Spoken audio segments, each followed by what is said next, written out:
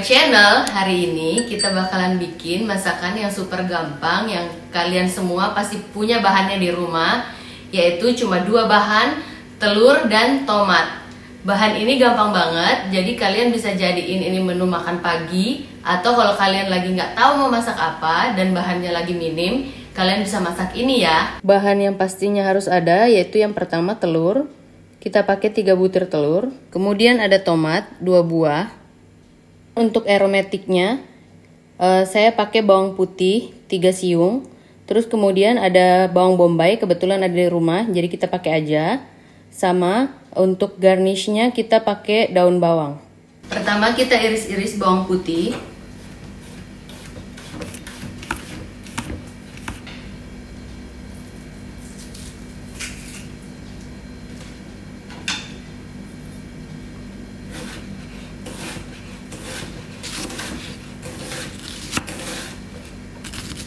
Iris-irisannya udah selesai, kita masukin ke sini dulu.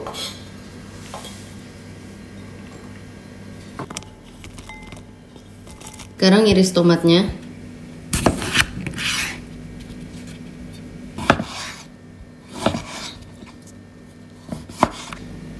Pecahin telur.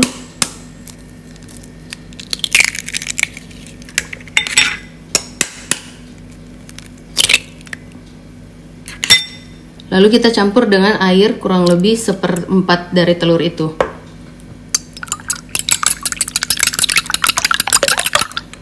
Jangan lupa tambahin garam.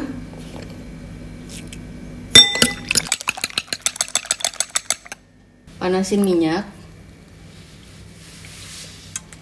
Masukin bawang. Masukin tomat. Dioseng dulu sampai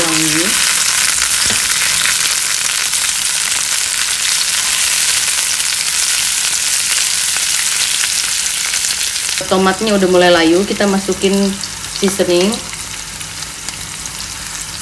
Kalian sesuaiin sama eh, kira-kira uh, selera kalian aja.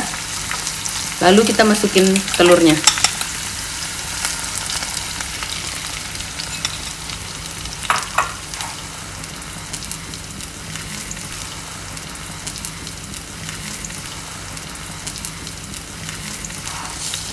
Diorak-arik aja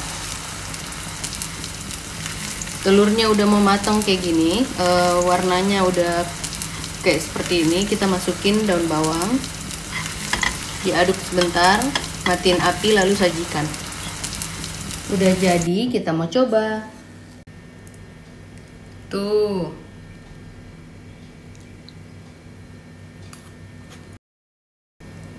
Tuh telurnya lembut banget. Ini tuh karena perpaduan telur yang dicampur dengan air ya. Tuh, kalian bisa lihat. Kita cobain ya.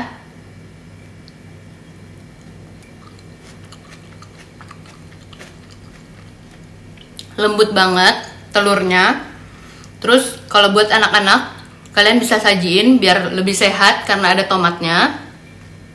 Buat tambahan menu di rumah juga, boleh kalian tambahin ini biar lebih mantap. Sampai jumpa di video kita berikutnya. Jangan lupa like, komen, dan subscribe. Bye!